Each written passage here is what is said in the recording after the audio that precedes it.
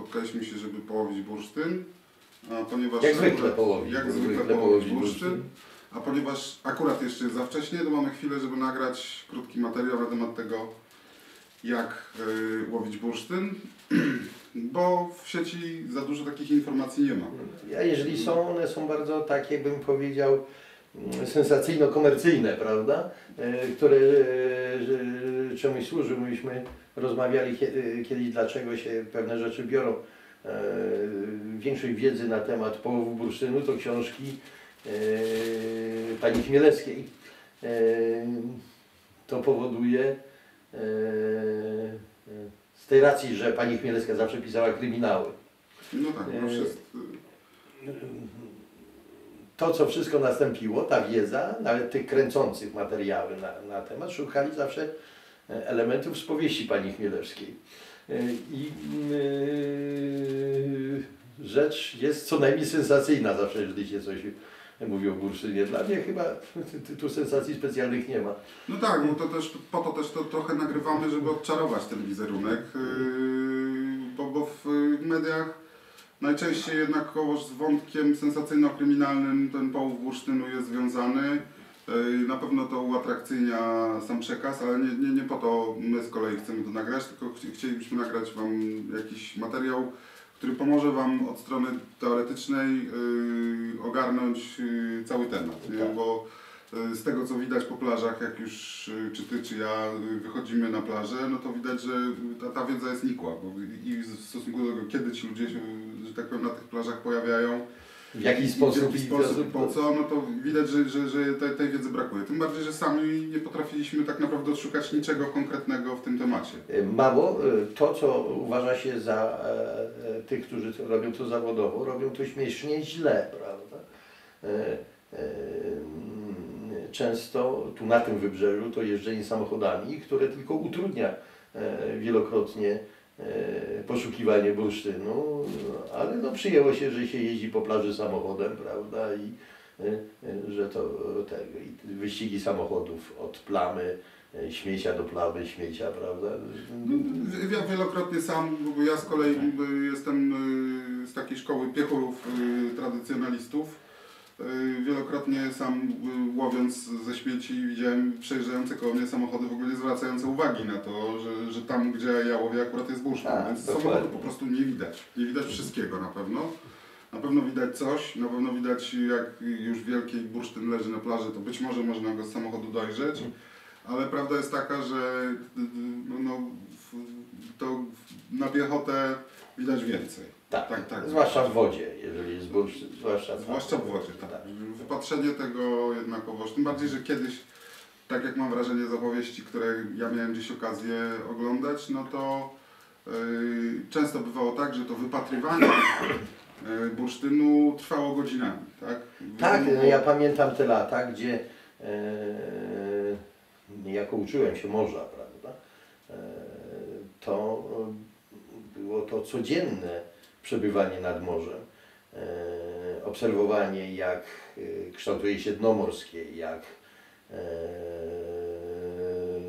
pływy mają wpływ na, na bursztyn, na zjawienie się bursztynu. Po prostu to, to było tak. Dzisiaj to jest o wiele bardziej proste. Można włączyć kamerę, prawda, która jakiś fragment plaży po, pokazuje. No tak. Zobaczyć jakie jest falowanie i tak dalej, nie, nie ruszając się z domu. Zdjęcia satelitarne w, pewnym momencie, prawda, bardzo e, pomaga, e, pomagały. Były e, całe programy, które pozwalały nawet widzieć plamy drewna dryfowego, które gdzieś tam były w wodzie i ocenić, czy to jest bursztyn potem. Drony ktoś próbuje stosować, prawda, z kamerami do e, poszukiwania bursztynu, czyli ta technika się bez przerwy zmienia. Ja pamiętam, jaką sensacją było dla mnie, ja pierwszy raz światło ultrafioletowe, które dokonało e, przełomu w połowach bursztynu, zobaczyłem mm, ze 35 lat temu po raz pierwszy e, w Niemczech na wyspie Sylt e, światło ultrafioletowe, jakieś tam latareczki mieli takie e, policyjne chyba, prawda, ci, ci łowiący, e, któryś ze znajomych tych zyltowskich e, opowiadał, że był e, odkrywcą, że w dyskotece gdzieś z żoną e, był i zauważył, że bursztyn, który miała na szyi, prawda, zaświecił w tym świetle ultrafioletowym i stąd ten e, pomysł. Ale tą samą opowieść tu na tym wybrzeżu spotkałem, prawda, są e, ludzie, No tak. którzy to samo opowiadają, prawda? Też warto jest e, zwrócić uwagę na to, że wokół bursztynu bardzo lubią narastać różnego rodzaju legendy. Na pewno o nich też będziemy rozmawiać. Tak, ja jestem specjalistą w ogóle od legend i Tak, i- tego wymyślania takich I historii właśnie nawet, dlatego prawda? się z tą spotkaliśmy. I, I wracając jeszcze na moment, y, żebyśmy mieli jasność, pod, że tak powiem, z kim rozmawiamy, ja się nazywam Wojtek Kurczewski, uczę się łowić bursztyn od y, 4,5 miesiąca, można powiedzieć, taką metodą przebywania codziennie na plaży, uczenia się morza. Y, Między innymi od Piotra, y, a gdybyś ty mógł Piotr powiedzieć parę słów o sobie, to... No, ja jestem Piotr Sowaczyński, e, człowiek stąd, e, urodzony w Gdyni. E, Kontakt z bursztynem od dziecka, jako sześciolatek już chyba pierwsze bursztyny znajdowałem e, w klifie, w klifie redłowskim, czy e, wcześniej chyba gdzieś w Gdyni, jeszcze jak nie było bulwaru, prawda? Tam bursztyn wszędzie występował wypłukiwany z klifu e, Kamiennej Góry, prawda? E, To znaczy z bursztynem od dziecka, tam gdzieś w jakiejś tradycji rodzinnej też, też ten bursztyn się pojawiał. E, Ja jestem stąd, po prostu jestem stąd, jakąś przerwę miałem, kilkanaście lat byłem e, w Niemczech, ale też e, poświęcałem się tam bursztynowi. Co prawda nosiłem wtedy garnitury, bo kupiłem sobie licencję maklerską i To jest też bardzo pracowałem jako makler, prawda? E, e, I tego z branżą finansową prowadziłem jakieś szkolenia potem, prawda? E, Z marketingu usług finansowych, prawda? I sensacyjne, jak nowe czasy, do Polski przyjeżdżałem z tym, prawda? To, to, to było ba, bardzo fajne, chociaż z ogromną niechęcią do tamtych czasach. Z przyjemnością zrzuciłem garnitur w pewnym momencie. Właśnie, co spowodowało, że nagle, wiesz, y, ta, ta pasja wróciła, można powiedzieć. E, czy pasja? Ona była cały czas, prawda? Ona była nieprzerwana pasja. E, od dziecka gdzieś, to e, istniało. No jakieś życiowe, prawda? Historie rodzinno, miłosno i tak dalej, i tak dalej spowodowały, że postanowiłem mieszkać na końcu świata, prawda? Na Mierzei Wiślanej. E, ta, takie e, wybory życiowe e, człowiek trafia. Pierwsze dwa lata, jak tu zamieszkałem, a to 20 lat temu już dzisiaj, prawda? Czyli można powiedzieć, że od 20 lat łowisz bursztyn. W zasadzie bez przerwy, nie bez- przerwany, bez przerwy. nie, nie, nie przerwany, prawda? I te, e, to, to te, też było, bo ja z wykształcenia jestem historykiem, pracowałem w Muzeum Miasta Gdyni, jestem jednym z twórców powiedzmy e, tego muzeum, prawda, słynnego Muzeum Miasta Gdyni. Potem z praktyki okazało się, że jestem historykiem sztuki, bo, bo musiałem gdzieś tam z dyplomami potem, nostryfikacje jakieś i tak dalej, to, to, to, to, to wszystko studia. W każdym razie z wykształcenia jestem historykiem, historykiem sztuki, designerem. E, mm, Gdzie w pewnym momencie czuję się jako antropolog kultury. Tylko antropolog kultury powinien siedzieć gdzieś e, w uniwersyteckich szybikach badawczych, prawda, pisać bardzo mądre książki, prawda, na ten temat. To, to jest bardzo ciekawa No. dziedzina, do której dojdziemy. Tak się składa, że antropolog kultury siedzi obok Ciebie, a przynajmniej na papierze. Na papierze, na papierze. I, tego y, nigdy się z tym, z, z tym nie czułem i zostałem w, w końcu to, co ja e, robię, nazywam i tak dalej. Jestem rybakiem bursztynu, prawda? Po prostu jestem rybakiem bursztynu i tyle. No.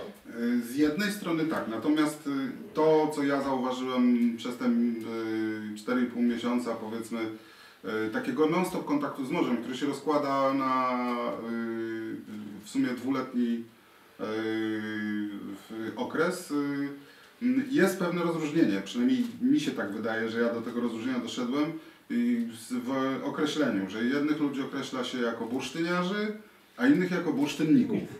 I jakby y, na czym według Ciebie, jeżeli jest, to na czym ta różnica polega? E, W ogóle te, te nazewnictwo bursztynnik, bursztyniarz jest e, strasznie felerne. Dzisiaj poprzez bursztynnika rozumie się w zasadzie jubilera, który handluje wyrobami bursztynopodobnymi w jakichś tam sreberkach, prawda? I to jest handlarz po prostu, bo jubilerów dzisiaj też jako takich nie ma, prawda? E, e, Gdzieś w tej tradycji myrtowskiej, prawda, e, wyrosła taka szkoła, polska szkoła obróbki bursztynu i ten, która ma no, no, niewątpliwe osiągnięcia, prawda, ale często pod względem estetycznym, jakościowym i tak dalej jest bardzo słaba, prawda. E, e, No, tak, tak, tak. powiedzmy, że o gustach się nie dyskutuje. Tak, dyskutuje? Jeden prawda? robi to, drugi tamto. Y, Ja z tej racji, że to, to designerskie tam wykształcenie jakieś mam, usiłuję ciągle dyskutować o, o gustach, bo mnie doprowadza do szału, kicz, prawda, który e, Bardzo w, w, te, w, te, w tej branży prawda, Szpilkę istnieje i, wsadzać tak, można. tak, i szpilkę wsadzam bez przerwy na ten temat. E, Natomiast e, natomiast e, bursztyniarz jest to ludowa nazwa, prawda? E, e, Człowieka, któ- który ten, z- z tą niepoprawnością językową, prawda, bursztyniarz, prawda? E, I tego, to, to jest człowiek, który albo kopie bursztyn w lesie gdzieś, prawda, nielegalnie, taka postać nie wiadomo kto, no jak dotknie bu- bursztyn w jakiejś formie, no to jest bursztyniarz, no i, i już, Okej. prawda. Natomiast ten zawód istotnie ludzi, którzy łowili bursztyn, e, nazywano ich historycznie e, po polsku rybakami bursztynu. Niemcy nazywali tych ludzi Bernsteinfischer, prawda?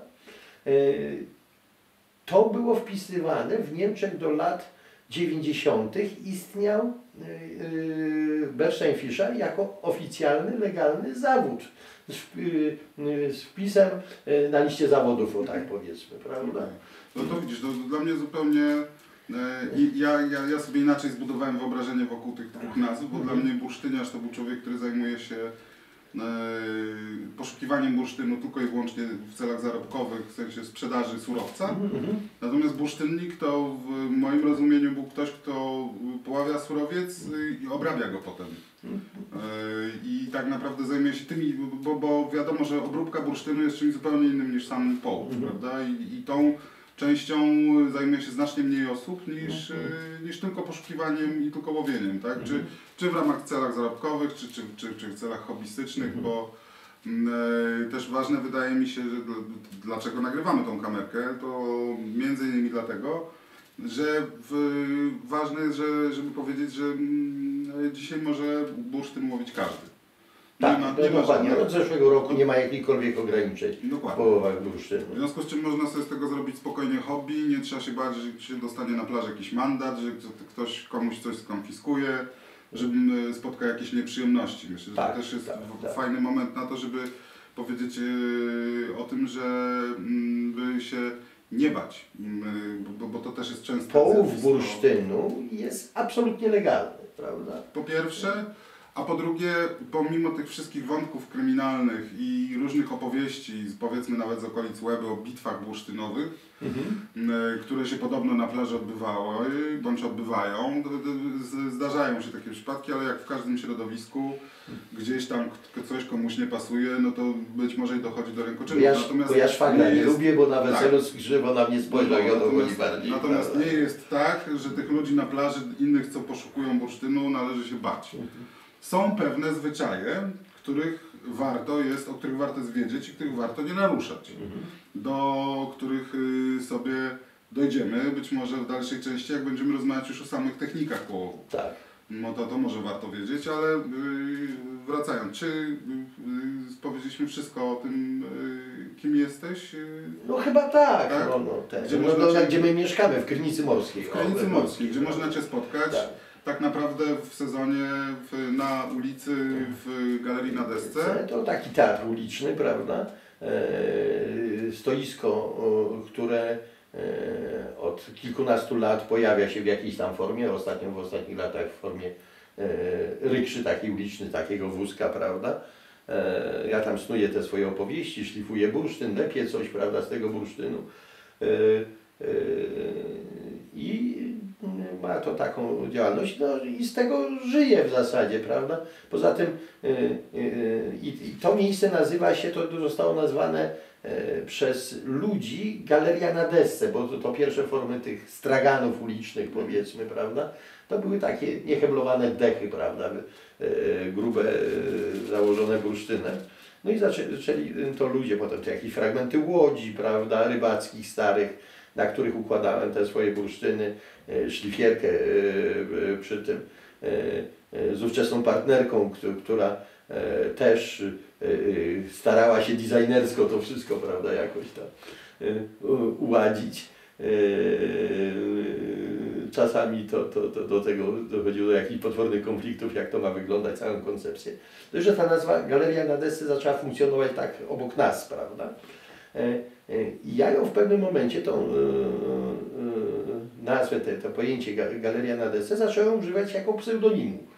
To ja jestem Galeria na desce, prawda? A nie miejsce, prawda? I jest to jak gdyby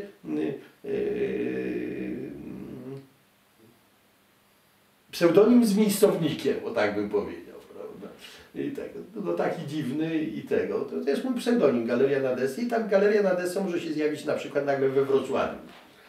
Bo przyjadę do Wrocławia y, i gdzie, gdzie się, się wystawię, czy oddam y, y, w, w, komis moje rzeczy, czy, czy sprzedam moje rzeczy jako biżuterię autorską do sprzedaży jakiemuś jubilerowi. Żądam wtedy, żeby to wy, wy, wyróżnione było, żeby było jakieś zdjęcie i że to, żeby to występowało e, pod nazwą e, Galeria na desce. No, Czyli, no, czyli można Cię spotkać nie tylko w Krynicy, tylko właściwie w całej Polsce. w całej Polsce po- poruszam Przy się. imprezach prawda. różnego rodzaju związanych teoretycznie z biżuterią bądź kamieniami szlachetnymi. Tak, bo to i targi jubilerskie bywają, jakieś giełdy minerałów, prawda, ale to nie tylko to w całej Europie są. No, jako e, designer, prawda, organizuje również wystawy swojej biżuterii, prawda, gdzieś one są i Wiedeń, i Berlin, prawda, e, e, i e, czy, czy taka miejscowość, która bardzo mi przypadła do, e, do gustu, e, w okresie Adwentu w podwiedeńskiej miejscowości Jajtchow, dawny klasztor, prawda, zamek i tak dalej, odbywa się taki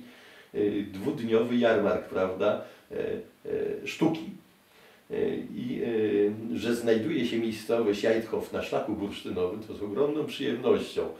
E, e, Przez całą Polskę, Bramę Morawską, Czechy, prawda, e, jechałem w kierunku Wiednia i na końcu jak gdyby dawnego szlaku bursztynowego, tego rzymskiego szlaku bursztynowego, prawda,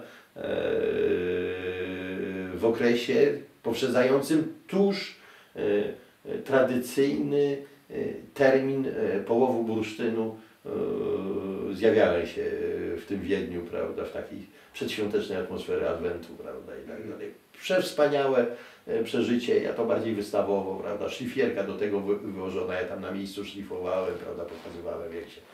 e, No tak, jakaś dodatkowa tak, atrakcja. Tak, tak, tak. I skoro już mówimy Teatralna o tym, bardzo, skoro już mówimy o tym, to możemy sobie spróbować przejść, myślę, do tego punktu kiedy. Skoro mówisz, że występuje jakaś sezonowość, to może warto sobie w tym momencie byłoby o tym powiedzieć, e, kiedy się ten bursztyn łowi. Uregulowano to już w średniowieczu w zasadzie termin, a on się z e, połowu bursztynu, który przypada od świętego Szczepana, czyli drugi świąt Bożego Narodzenia, do Wielkiej Nocy. Yy, Wielkanoc jest świętem ruchomym, czyli to Wcześniej czy później. wcześniej czy później, prawda? Ale to jest e, koniec marca e, połowa, do połowy kwietnia, tak powiedzmy. Może się to zdarzyć. E, I tak bursztyn występuje. No tak. Może. E, Bursztyn z racji swojego ciężaru właściwego, jako je- jedyna z kilkudziesięciu żywic kopalnych na świecie, ma najniższy ciężar właściwy. Zbliżony do ciężaru Ciężaru właściwego wody, wody. że decymetr y, y, sześcienny bursztynu to jest około litra, powiedzmy, Mhm. prawda? Y, litra wody. Jest ta różnica na tyle niewielka, tutaj może będziemy w stanie złamać jakiś mit, który panuje na temat Mhm. tego, jak badać, czy coś jest bursztynem. Że to wcale nie chodzi o to, że jak woda jest słona, to bursztyn wypływa, tylko jak woda jest gęsta. Gęsta, tak. No, a woda jest gęsta wtedy, kiedy jest zimna. Zimna, prawda? Dlatego Czyli pojawia się ten bursztyn zimą. zimą. Bądź, oczywiście to jest reguła, natomiast od tej reguły bywają wyjątki, co sam miałem okazję zobaczyć. Nawet w czerwcu czy w lipcu może się zdarzyć, że sypnie bursztynem.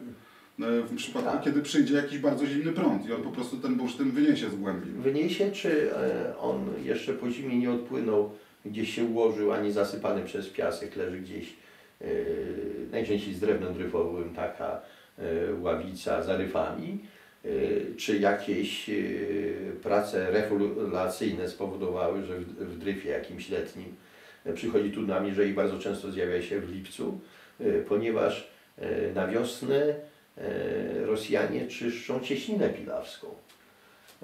I tam idzie refuler i, i żeby droga do Królewca wodna była to po zimowych sztormach, muszą odkopać jak gdyby No tak. cieśninę pilawską. I to jest ko- kolejny termin, kiedy można szukać bursztynu, czyli wtedy, kiedy pracowała pogłębiarka zwana Tak. refulerem. Właściwie na całym wybrzeżu, bo to samo ja spotykam i w Ustce, i w Łebie. I u nasady Półwyspu Helskiego przy, przy Władysławowie i tak dalej. są kanały wodne, które trzeba udrażniać, Mhm. tak? To, to gdzieś ten bursztyn może się okazać, że po prostu zalega i wtedy warto... E, Zresztą w Yy, Cieśninach poszukać. Duńskich jest tak samo, gdzie się łowi bursztyn, No prawda? tak. E, e, I tak samo jest e, na e, Morzu Północnym, prawda, przy Wyspie Zylt i tak dalej, jeżeli w którymś z portów tamtejszych e, są prace pogłębiniowe i tak dalej, to bursztynu jest oczywiście natychmiast więcej, prawda? No oczywiście, oczywiście. Ale zasada jest podstawowa taka, że woda musi być zimna, żeby Zimna. bursztyn się pojawił. Pojawił. No, on dlatego- pływalność jak Dokładnie, dlatego łowi się go zimą. Y, tradycyjnie zauważyłem, że też y, przynajmniej w świadomości ludzi, którzy poławiają bursztyn, pojawiają się też okresowe święta, czyli właśnie ten drugi dzień świąt jest takim momentem, kiedy sypie. Czasami niektórzy mówią o Nowym Roku, niektórzy mówią o Trzech Króli. Mhm. E, Ale to, to, to, to, to, to, e, Wojtku, to wynika z czegoś innego. To wynikało z tego, że przy okazji e, połowu bursztynu było uprawiane bałtyckie piractwo. E, ono wy, wynikało, e, polegało na e, przede wszystkim ta najprostsza forma, prawda, na zapaleniu świateł na plaży, e, które w czasie sztormu, złej pogody, e, no najczęściej też y, czas, kiedy pojawia się bursztyn, były pretekstem e, do ściągnięcia e, statków ten rejon, który myślał, że tu na tym wybrzeżu, że to jest latarnia morska w Pilawie albo w twierdzy Wis Wisłoujściu czy, czy Ujściu Wisły światło. E, I te statki gdzieś tu na tych ła- łachach, mieliznach rozbijały się po prostu. No bo to warto wiedzieć, że piraci nie tylko na Karaibach, ale na Bałtyku. E, Zdecydowanie również- był to najbardziej e, zapiracony rejon świata, południowy Bałtyk, prawda? I nie ma wątpliwości, te wszystkie legendy e, karaibskie, prawda? O statkach widmo, latających Holendrach, e, e, skrzyniach Umrzyka i tak dalej, to są wszystko bałtyckie legendy pochodzące z Bałtyku, prawda? I, No e, e, i przeniesiono je potem, em, e, literatura przede wszystkim przyniosła to na, na Karaiby, e, ale one e, pochodzą stąd, tak jak e, e, ten film dla dzieci, młodzieży i dorosłych, prawda? E, Legenda Karaibów, nie, jak on się nazywa? Właściwie? piraci z Karaibów. Tak? Piraci z Karaibów, prawda? No to jest dokładnie wszystkie bałtyckie legendy są tam wsa- wsadzone, czy nie Ale tylko... Ja ich doskonale rozumiem. Tak, jako no. człowiek, który pracuje troszeczkę przy filmie, no jednakowoż tam temperatury są takie, że to się łatwiej kręci. O, na przykład, prostu, prawda? po prostu, niż tu. Tak, no i złoto, prawda? No. Jakichś Inków, Azteków i tak dalej, gdzieś tam do tego dochodzi, Można- czyli, czyli, yy, czyli jest ten. Na Złotym Bałtyku, yy, yy, jak wiadomo, jest bursztyn, chociaż to uważam, że to jest forma yy, obraźliwa. O, jakbyś tam sięgnął z tyłu, tam jest wisiorek yy, zawierający yy, niebieski bursztyn, prawda? Yy, jak flaga, pokazać, no to to jest, jest bardzo trudne, prawda? Gdzieś można to pokazać, prawda? może. No to są najdroższe bursztyny y, na świecie. To jest najdroższy minerał, Mhm. e, minerał Europy i on jest, no, e, e, cena jego kształtuje się, e, powiedzmy, pięciokrotnie drożej niż cena złota. Mhm. E, I, e, I tym samym staje się najdroższym minerałem Europy, czyli powiedzenie złoto Bałtyku jest obraźliwe dla bursztynu. bursztynu, prawda? Tak, tak tani znowuż nie jest, Musimy pokazać, że diamenty w Bałtyku to też może być obraźliwe na, na No, no jest gdzieś na... na, na Zależy od bursztynu, Tak, tak tak, tak, tak, tak. Bo też Zależy od bursztynu. Tych odmian y, jest bardzo wiele. O tym też nagramy sobie kiedyś y, Tak. na pewno y, chwilę. Y, w- Natomiast chciałbym, próbuję wiesz, trzymać ramy, bo, bo załóżmy, że teraz mm, ludzie, którzy to oglądają, no, oglądają to po to, żeby się dowiedzieć, Jak łowić bursztyn. jak łowić bursztyn. No to już tak, takie podstawy zrobiliśmy, prawda, no, wody. i Znaczy, na, na razie wiemy tyle, że jest ta sezonowość, że bursztyn się łowi zimą, że woda powinna być zimna, y, że wtedy jest gęsta i wywala. Generalnie jako zasada w pogodę bursztyn. taką, co by psa z domu nie wygolił. E, I tak, teoretycznie, i nie, bo gdyż albowiem siedzimy właśnie tu, zamiast siedzieć na plaży, bo ta pogoda jest jeszcze nieodpowiednia. Bo okazuje się, że to nie w same sztormy, mm, tak jak ostatnio mieliśmy okazję obserwować, Tak. y, się szuka bursztynu, tylko tak naprawdę chodzi o pewną koincydencję fal z wiatrem. Dokładnie. E, Jest, e, żeby warunki do powstania bursztynu, one bardzo często właśnie w końcowej fazie sztormu powstają. Chodzi o powstanie jednego rodzaju fali, który jest bardzo istotny. E, Powstanie e, sącej fali dennej. E, Jak należy sobie to wyobrazić? Należy sobie to wyobrazić, że jeżeli mamy falowanie do brzegu i jest jakaś długość fali, nie, nie określajmy jej, prawda, jaka musi to być długość fali, e, e, i następuje e, skrócenie tej fali poprzez wiatr przeciwny w stosunku do ruchu fali. Czyli fala z jednej, a wiatr Z drugie. One, o, tak ją można łatwo rozpoznać Tak taką falę. popular- popularna kontra. Nie, kontra jest wiatrem, prawda? No tak, Y, mówię, fala tak, z jednej, no tak, wiatr z drugiej, drugiej, czyli tak. wiatr Kon- kontrujący. Y, Wiatr kontrujący. I kontra to jest nazwa wiatru, prawda? Mhm. E, e, przeciwnego do ruchu fali, prawda? E, powoduje skracanie się długości fali. Co powoduje dalej, e, z racji napięć powierzchniowych wody, powstanie podciśnienia. E, My nie zdajemy sobie sprawy, jak to podciśnienie e, wywołane skracającą się falą może być potężne. E, Po pierwsze, działanie fali dennej określa się w oceanografii jako ten element, który wyznacza szelfy, czyli miejsce, do którego zmiany ciśnienia spowodowane e, falą są odczuwalne. I określa się to jako głębokość 200 metrów. Czyli fala denna działa do 200 metrów głębokości. Aż tak. E, Średnia głębokość Bałtyku wynosi 60 metrów. Czyli w teorii całe dno właściwie jest dostępne. Całe dno jest e, w teorii dostępne. E, Trzeba pamiętać, że z racji bursztynu czy z lodowacenia odsłoniły nam eoceńskie złoża bursztynu, które stanowią w wielu miejscach e, dno Bałtyku.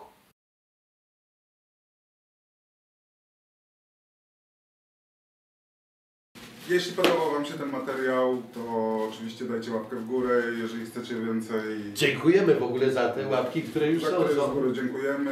Jeżeli mm, macie ochotę na więcej takich filmów, to subskrypcja. Oczywiście też dziękujemy, jeżeli, jeżeli subskrypcja. Ej, Jeżeli macie jakiekolwiek pytania, to piszcie w komentarzach. Postaramy się odpowiedzieć na nie w postaci któregoś kolejnego filmu. Kontakty zarówno do Piotra bezpośrednio, jak i do mnie znajdziecie w e, opisie mm, filmu. I to właściwie by było na tyle. Pozdrawiamy. Pozdrawiamy. Do zobaczenia.